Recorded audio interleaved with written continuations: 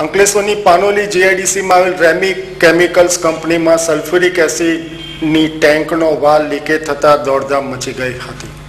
અંકલેશ્વરની Panoli GIDC સ્થિત plot number એકત્રીસ zero નવમાં આવેલી રેમિક કેમિકલ્સ કંપનીમાં રો મટીરિયલ ચાર્જ કરતી વખતે સલ્ફ્યુરિક એસિડ ટેન્કમાંથી નીકળતું ન હતું. તેથી ઓપરેટર દ્વારા લાકડાવાળે વાલની જગ્યા પર મારવામાં આવતા અચાનક ટેન્કની ફ્લેજની ગ- ગાસ્કેટ છટકી જતા સલ્ફ્યુરિક એસિડ કંપની પરિસરમાં ફેલાયો હતો. ત્યારબાદ સલ્ફ્યુરિક એસિડ કંપની બહાર વરસાદી કાંસમાં પ્રસરી ગયું હતું, જેના કારણે ગેસનો રિસાવ થતા આસપાસના ઉદ્યોગો તેમજ સ્થાનિકોને ગેસની અસર થતાં શ્વાસ લેવામાં મુશ્કેલી ઊભી થઈ હતી.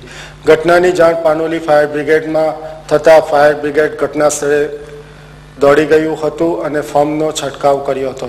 જો કે કંપની સંચાલકો દ્વારા જેસીબી મશીન વડે વરસાદી કાસમાં માટી નાખી દેવામાં આવી હતી. ફાયર ફાઇટરો દ્વારા પરિસ્થિતિ ઉપર કાબુ મેળવાયો હતો.